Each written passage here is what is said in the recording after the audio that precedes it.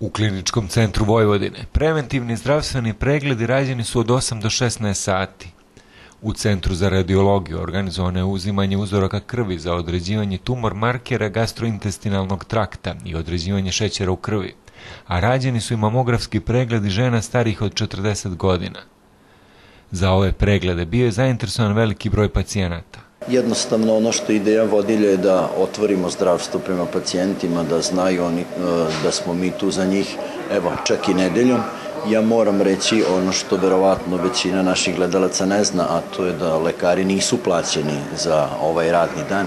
Jesu u neku ruku zapravo imaju kompenzaciju u slobodnom danu, ali neke novčane nadoknade za rad nedeljom ne dobijaju i to je neka, neki dobrovoljni rad i ja svakako moram da se zahvalim svim zdravstvenim radnicima koji svoju nedelju odvojeni od porodice žrtvuju za, da bi učinili na dobrobit naših pacijenata.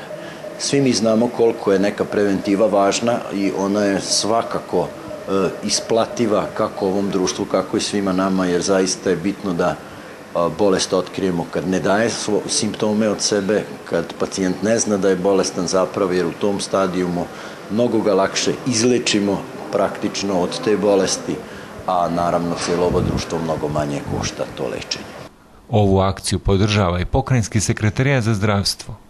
Znači ovih akcija svakako se vidi i u odzivu E, naših sugrađana i uopšte širom Vojvodine. E, rekla bih da ljudi vole da dođu na ovakve vrste pregleda. Prvo, ne čekaju, vrlo su dobro organizovani. Vidite danas u Kliničkom centru Vojvodine kao jedna vrlo eminentna ustanova i na udaru velikog broja pacijenata. Ona čak i danas, evo, uspeva da sve one kojima je potreban pregled da zadovolji njihove zahteve.